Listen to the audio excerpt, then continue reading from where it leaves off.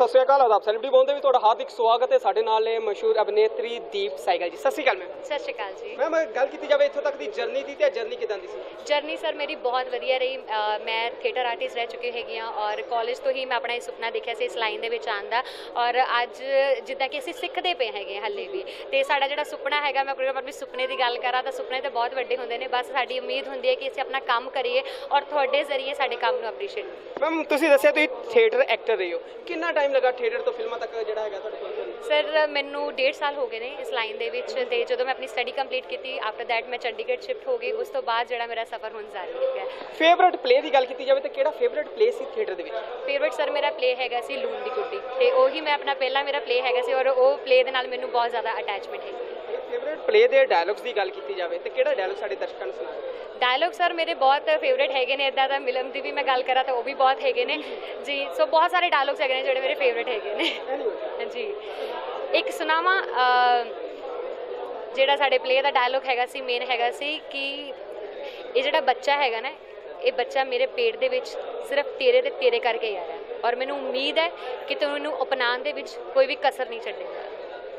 ਗੱਲ ਕੀਤੀ ਜਾਵੇ, ਕਿਸ ਤਰ੍ਹਾਂ ਦੇ ਰੋਲ ਕਰਕੇ ਜਿਹੜਾ ਹੈ ਮਜ਼ਾ ਆਉਂਦਾ ਹੈ ਜਿੱਦਾਂ ਰੂਹ ਨੂੰ ਸਕੂਨ ਮਿਲਦਾ? ਦੇਖੋ ਸਾਡਾ ਕੰਮ ਹੈਗਾ ਇੱਕ ਕੋਈ ਵੀ ਕਿਸੇ ਵੀ ਕਰੈਕਟਰ ਨੂੰ ਕਰੈਕਟਰ ਨੂੰ ਪਲੇ ਕਰਨਾ।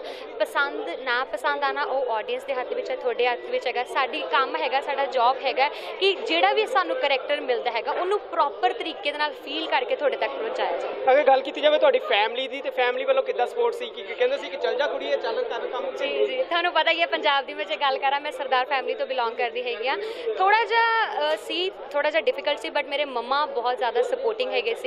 ਆਲਵੇਜ਼ ਉਹਨਾਂ ਨੇ ਮੈਨੂੰ ਸਪੋਰਟ ਕੀਤਾ ਮੇਰੇ ਡੈਡ ਨੇ ਆਲਵੇਜ਼ ਸਪੋਰਟ ਕੀਤਾ। ਫੈਮਿਲੀ ਦਾ ਤੁਹਾਨੂੰ ਪਤਾ ਹੀ ਹੈ ਸਪੋਰਟ ਕਰਦੀ ਹੈ ਬਟ ਜਿਹੜੇ ਆਸ-ਪਾਸੇ ਦੇ ਹੁੰਦੇ ਨੇ ਥੋੜਾ ਜਿਹਾ ਡਿਫਿਕਲਟ ਰਿਹਾ। ਬਟ ਨਾਓ ਦੇ ਗਾਇਜ਼ ਆਰ ਹੈਪੀ ਬਹੁਤ ਖੁਸ਼ ਹੈਗੇ ਨੇ। ਮੇਰੇ ਮੰਮਾ ਨੇ ਆਲਵੇਜ਼ ਮੇਰਾ ਸਾਥ ਦਿੱਤਾ ਹੈ। ਜਦੋਂ ਪਹਿਲੀ ਇਨਕਮ ਕਮਾਈ ਤੇ ਕਿਹਦੇ ਹੱਥ 'ਚ ਰੱਖੀ ਮੰਮੀ ਦੇ ਕਿ ਪਾਪਾ ਦੇ? ਆਬਵੀਅਸਲੀ ਮੰਮਾ ਦੇ ਹੱਥ ਦੇ ਵਿੱਚ ਰੱਖੀ ਸੀ। ਕੀ ਸ਼ੌਕ ਸੀ mama mama was crying literally she was crying ਕਿ ਮਤਲਬ ਤੁਹਾਨੂੰ ਵੀ ਪਤਾ ਹੀ ਹੈਗਾ ਕਿ ਜਦੋਂ ਅਸੀਂ ਆਪਾਂ ਪੜ੍ਹਦੇ ਹੁੰਨੇ ਆ ਪੜਨ ਤੋਂ ਬਾਅਦ ਜਦੋਂ ਆਪਾਂ ਕਿਸੇ ਵੀ ਕੰਮ ਦੇ ਵਿੱਚ ਆਪਣੀ ਪਹਿਲੀ ਕਮਾਈ ਜਦੋਂ ਆਪਣੇ ਮਾਪਿਓ ਦੇ ਹੱਥ ਦੇ ਵਿੱਚ ਰੱਖਦੇ ਆ ਤਾਂ ਮਾਪਿਓ ਦੇ ਮੈਨੂੰ ਲੱਗਦਾ ਇਹ ਜਿਹੜੇ ਇਮੋਸ਼ਨਸ ਹੁੰਦੇ ਨੇ ਉਹ ਕੋਈ ਲਫ਼ਜ਼ ਦੇ ਵਿੱਚ ਅਸੀਂ ਬਿਆਨ ਨਹੀਂ ਕਰ ਸਕਦੇ ਸੋ ਜਿਹੜੇ ਉਹਨਾਂ ਦੇ ਸਾਰੇ ਇਮੋਸ਼ਨਸ ਸੀ ਮੈਨੂੰ ਉਹਨਾਂ ਦੀ ਅੱਖਾਂ ਦੇ ਥਰੂ ਹੀ ਦੇਖੇ ਮੈਮ ਬਾਲੀਵੁੱਡ 'ਚ ਆ ਚੁੱਕੇ ਹੋ ਬਾਲੀਵੁੱਡ 'ਚ ਕਦੋਂ ਜਿਹੜੀ ਐਂਟਰੀ ਮਾਰਨ ਵਾਲੇ? ਦੇਖੋ ਬਾਲੀਵੁੱਡ ਬਾਲੀਵੁੱਡ ਮੇਰੇ ਲਈ ਕੁਝ ਨਹੀਂ ਹੈਗਾ ਮੇਰੇ ਲਈ ਬਸ ਇੱਕੋ ਹੀ ਮੇਰਾ ਡ੍ਰੀਮ ਹੈਗਾ ਕਿ ਜੋ ਵੀ ਮੈਂ ਕਰੈਕਟਰ ਕਰਾਂ ਉਹ ਤੁਹਾਨੂੰ ਸਭ ਨੂੰ ਪਸੰਦ ਆਵੇ ਔਰ ਮੈਂ ਆਪਣੇ ਉਸ ਕਰੈਕਟਰ ਨੂੰ ਪੂਰੇ ਰੂਹ ਦੇ ਨਾਲ ਕਰਾਂ ਤੁਹਾਡੇ ਤੱਕ ਪਹੁੰਚਾਵਾਂ ਸੁਪਨਾ ਕੀ ਹੈ ਤੁਹਾਡਾ? ਸੁਪਨੇ ਤਾਂ ਬਹੁਤ ਵੱਡੇ ਹੈਗੇ ਨੇ ਬਸ ਸੁਪਨਿਆਂ ਨੂੰ ਪਾਰ ਲੱਗਣ ਦੀ ਦੇਰ ਹੈ ਤੇ ਬਸ ਅਸੀਂ ਉੱਡੀ ਜਾ ਰਹੇ ਹੈਗੇ ਆ ਤੇ ਤੁਸੀਂ ਸਾਨੂੰ ਪਹੁੰਚਾਣਾ ਉਹਨਾਂ ਸੁਪਨਿਆਂ ਤੱਕ ਅਗਰ ਗੱਲ ਕੀਤੀ ਜਾਵੇ ਤੁਹਾਡੇ ਫੇਵਰਿਟ ਐਕਟਰ ਦੀ ਤੇ ਕਿਹੜਾ ਫੇਵਰਿਟ ਐਕਟਰ ਹੈ ਤੇ ਉਹਨੂੰ ਕੀ ਮੈਸੇਜ ਦੇਣਾ ਚਾਹੁੰਦੇ ਹੋ? ਦੇਖੋ ਮੈਸੇਜ ਤਾਂ ਮੈਂ ਕੁਝ ਨਹੀਂ ਦੇਣਾ ਚਾਹੁੰਦੀ। ਫੇਵਰੇਟ ਐਕਟਰ ਤਾਂ ਵੈਸੇ ਤਾਂ ਕੋਈ ਨਹੀਂ ਹੈਗੇ ਬਟ ਸਲਮਾਨ ਸਰ ਨੂੰ ਮੈਂ ਬਹੁਤ ਫੋਲੋ ਕਰਦੀ ਹਾਂ। ਬਹੁਤ ਅੱਛੇ ਲੱਗਦੇ ਹੈਗੇ ਨੇ। ਰਣਵੀਰ ਸਿੰਘ ਮੈਨੂੰ ਬਹੁਤ ਅੱਛੇ ਲੱਗਦੇ ਹੈਗੇ ਨੇ।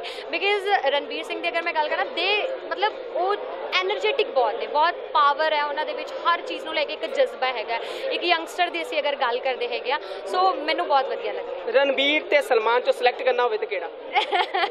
ਇਟਸ ਕੁਆਇਟ ਡਿਫਿਕਲਟ ਨਹੀਂ ਇਹ ਨਹੀਂ ਹੋ ਸਕਦਾ ਹੈਗਾ ਦੋਨੋਂ ਹੀ ਬਹੁਤ ਵਧੀਆ ਲੱਗਦੇ ਨੇ ਸਲਮਾਨ ਖਾਨ ਦੀ ਕਿਹੜੀ ਜਿਹੜੀ ਪਿਕਚਰ ਹੈ ਤੁਹਾਨੂੰ ਸਭ ਤੋਂ ਜ਼ਿਆਦਾ ਤੁਹਾਡੇ ਦਿਲ ਦੇ ਕਰੀਬ ਹੈ ਔਰ ਕਿਉਂ ਸੁਲਤਾਨ ਸੁਲਤਾਨ। ਸੁਲਤਾਨ ਕਿਉਂ ਸੁਲਤਾਨ ਦੇ ਜਿਹੜੇ ਡਾਇਲੌਗਸ ਨੇ ਉਹੀ ਬਹੁਤ ਪਾਵਰ ਪੈਕ ਹੈਗੇ ਨੇ। ਸਲਮਾਨ ਖਾਨ ਸਰ ਦਾ ਨਾਮ ਹੀ ਆਪਣੇ ਆਪ ਦੇ ਵਿੱਚ ਇੱਕ ਬਹੁਤ ਵੱਡਾ ਨਾਮ ਹੈਗਾ। ਸੋ ਉਹਨਾਂ ਦੀ ਮੂਵੀਜ਼ 'ਚ ਹਰ ਇੱਕ ਮੂਵੀ ਦੇ ਵਿੱਚ ਇੱਕ ਮੈਸੇਜ ਹੁੰਦਾ ਹੈਗਾ ਆਡੀਅנס ਦੇ ਲਈ ਕਿ ਮਤਲਬ ਕਿਸ ਤਰੀਕੇ ਨਾਲ ਤੁਸੀਂ ਆਪਣੀ ਐਕਟਿੰਗ ਨੂੰ ਕਿੱਦਾਂ ਤੱਕ ਦਰਸ਼ਕਾਂ ਤੱਕ ਪਹੁੰਚਾਉਣਾ ਹੈਗਾ। ਸੋ ਆਲ ਓਵਰ ਮੈਂ ਗੱਲ ਕਰਾਂ ਤਾਂ ਸਲਮਾਨ ਸਰ ਦੀ ਮੂਵੀਜ਼ ਹਰ ਹਰ ਕਿਸੇ ਮੂਵੀ ਦੇ ਵਿੱਚ ਇੱਕ ਮੈਸੇਜ ਸਾਨੂੰ ਜਿਹੜਾ ਕਿ ਇਹ ਦੇਖਣ ਨੂੰ ਮੈਮ ਜਦੋਂ ਵੀ ਫ੍ਰੀ ਵਕਤ ਮਿਲਦਾ ਉਸ ਸਮੇਂ ਕੀ ਕਰਦੇ ਹੋ? ਫ੍ਰੀ ਵਕਤ ਦੇ ਵਿੱਚ ਮੈਂ ਜ਼ਿਆਦਾਤਰ ਤਾਂ ਮੂਵੀਜ਼ ਹੀ ਦੇਖਦੀ ਹੈਗੀ ਆ ਬਿਕਾਜ਼ ਮੈਂ ਮੂਵੀਜ਼ ਦੀ ਬਹੁਤ ਵੱਡੀ ਸ਼ੌਕੀਨ ਹੈਗੀ ਆ। ਸੋ ਡੇਲੀ ਦੀਆਂ ਮੈਂ ਇੱਕ ਜਾਂ ਦੋ ਮੂਵੀਜ਼ ਦੇਖਦੀ ਹੈਗੀ ਆ। ਮੈਮ ਤੁਹਾਡੀ ਫਿਲਮ ਮੈਂ ਜਿਮ ਜਾਂਦੀ ਹੈਗੀ ਆ। ਜਾਂਦੀ ਜੀ ਫਿਟਨੈਸ ਤੇ ਬਹੁਤ ਫਿਟਨੈਸ ਤੇ ਬਹੁਤ ਜ਼ਿਆਦਾ ਧਿਆਨ ਦਿੰਦੇ ਹੋ। ਅਗਰ ਗੱਲ ਕੀਤੀ ਜਾਵੇ ਤੁਹਾਡੀ ਫਿਲਮ ਦੀ ਫਿਲਮ ਆ ਰਹੀ ਹੈ। ਫਿਲਮ ਦੇ ਵਿੱਚ ਕਿਦਾਂ ਦਾ ਰੋਲ ਹੈ ਤੇ ਕਿਹੜਾ ਡਾਇਲੌਗ ਜਿਹੜਾ ਹੈ ਤੁਹਾਨੂੰ ਸਭ ਤੋਂ ਜ਼ਿਆਦਾ ਪਸੰਦ ਹੈ ਫਿਲਮ ਦੇ ਵਿੱਚ? ਜੀ ਫਿਟਨੈਸ ਨੂੰ ਤਾਂ ਮੈਂ ਬਹੁਤ ਜ਼ਿਆਦਾ ਲਾਈਕ ਕਰਦੀ ਹੈਗੀ ਹਾਂ। ਜਦੋਂ ਤੁਸੀਂ ਮੈਨੂੰ ਮੂਵੀ ਦੇਖੋਗੇ ਉਹਦੇ 'ਚ ਥੋੜੀ ਜਿਹੀ ਮੈਂ ਹੈਲਦੀ ਤੁਹਾਨੂੰ ਦਿਖਾਂਗੀ। ਤੇ ਜਿਹੜਾ ਫੇਵਰਿਟ ਡਾਇਲੋਗ ਹੈਗਾ ਉਹ ਰਵਨੀਤ ਜੀ ਦਾ ਹੀ ਹੈਗਾ। ਡਾਇਲੋਗ ਫੇਵਰਿਟ ਆ ਭੜਕਾ ਕੇ ਮਾਰਿਆ ਪੇਪਰ ਉਹ ਬਹੁਤ ਹੀ ਅੱਛਾ ਡਾਇਲੋਗ ਹੈਗਾ। ਅਗਰ ਮੈਮ ਤੁਹਾਡੀ ਪਰਸਨਲ ਗੱਲ ਕੀਤੀ ਜਾਵੇ ਤੁਹਾਨੂੰ ਗੁੱਸਾ ਆਉਂਦਾ ਆ ਕਿ ਨਹੀਂ? ਨਹੀਂ ਗੁੱਸਾ ਮੈਨੂੰ ਬਹੁਤ ਘੱਟ ਆਉਂਦਾ ਹੈਗਾ। ਹਾਂ ਫਿਲਮਾਂ 'ਚ ਥੋੜਾ ਜਿਹਾ ਫੇਸ ਤਾਂ ਲੱਗਦਾ ਕਿ ਮੈਨੂੰ ਗੁੱਸਾ ਆਉਂਦਾ ਹੋਏਗਾ ਬਟ ਮੈਨੂੰ ਗੁੱਸਾ ਨਹੀਂ ਆਉਂਦਾ। ਮੈਮ ਜਾਂਦੇ ਜਾਂਦੇ ਇੰਟਰਨੈਸ਼ਨਲ ਲੈਵਲ ਦੇ ਉੱਤੇ ਅਗਰ ਤੁਸੀਂ ਕੋਈ ਮੈਸੇਜ ਦੇਣਾ ਹੋਵੇ ਤਾਂ ਕੀ ਦੋਗੇ?